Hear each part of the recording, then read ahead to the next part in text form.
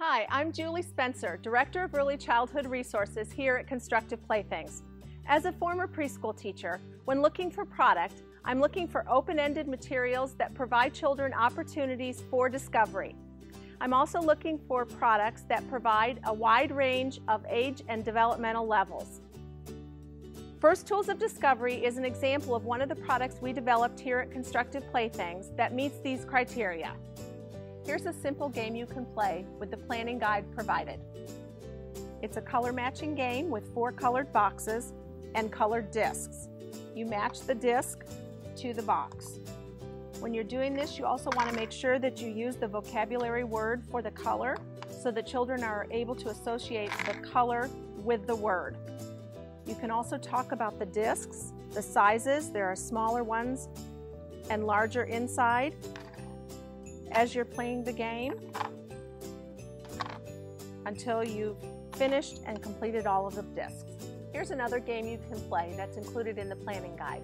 It's a simple patterning game where you create a pattern and then you have the child create the pattern.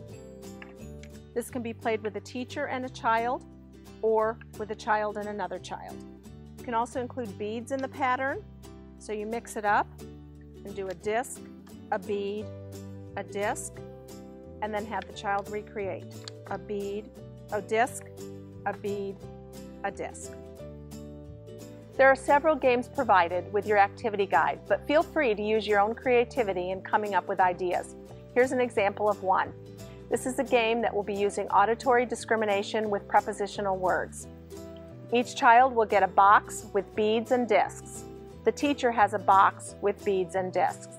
You use vocabulary words to describe what you want the child to do, and then the child will then follow. Put a red disc on top of the box.